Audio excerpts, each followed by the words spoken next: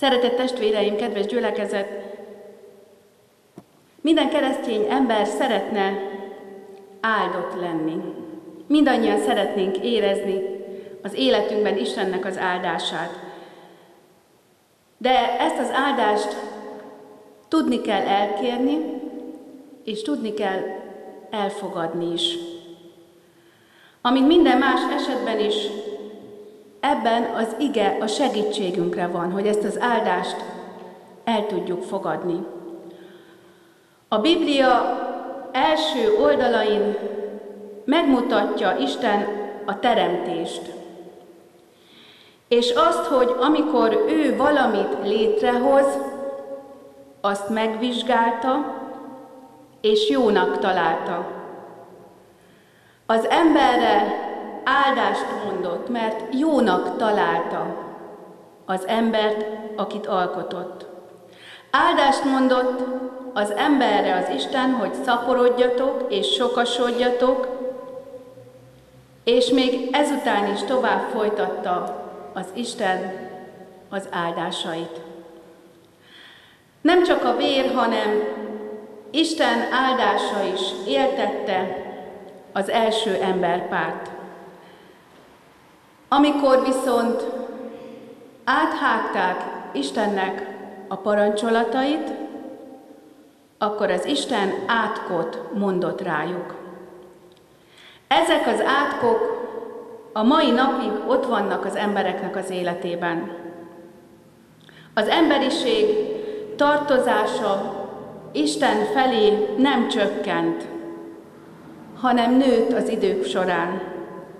Ennek megfelelően az átkok erőteljesen hatottak, és ma is hatnak az emberek életében. Két erő formálja az embereknek az életét. Ez a két erő az áldás és az átok. Úgy gondolom mindannyian arra törekszünk az életünk folyamán, hogy egyáltalán ne legyen átok, vagyis rossz az életünkben. De annál több jó legyen, annál több áldás legyen az életünkben. Ennek eléréséhez, vagy akár csak megközelítéséhez fontos tudnunk, hogy hogyan lehet átmenni az átokból az áldott állapotba, az áldásba. Már az Ószövetségben is nyilvánvalóvá tette Isten, hogy ő nem azt akarja, hogy az átok legyen többségben az életünkben. Ábrahámnak azt ígérte az Isten, hogy áldott lesz, és áldássá lesz.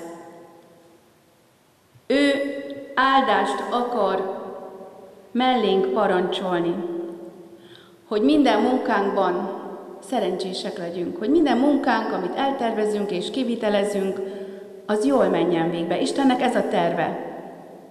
Ehhez készíti elő az ő, az ő áldásait. De ahhoz, hogy az áldások eljussanak az életünkbe, befogadó szívre van szükség. Mert gondoljunk csak bele, szeretett testvéreim, hogy a házunkba is reménység szerint legtöbbször csak az ajtón keresztül vezet az út. Ha valaki az ablakon szeretne bejutni, vagy ránk töri az ajtót, azt úgy nevezzük, hogy betörő. A bűnnel együtt tör be az életünkbe. Hát mi is csak úgy tudjuk elfogadni az áldásokat, ha kinyitjuk a szívünket. Befogadó szív kell az áldásoknak a befogadására. És ha ezt megtesszük, akkor 30-szoros, 60-szoros, vagy akár 100-szoros áldás jöhet az életünkbe, ha kinyitjuk a szívünket. Ha megnyílik a szívünk az Isten előtt. Ábrahámot az Isten nem érdemei alapján jutalmazta, hanem csak úgy kiválasztotta. Hálából Ábrahám kitárta a szívét Isten előtt. Hittel és örömmel fogadta Istennek az áldásait. És ezt olvashatjuk is a Szentírásban, Mózes első könyve 15. részében. És hitt az Úrnak, és tulajdonítaték ő néki igazságul.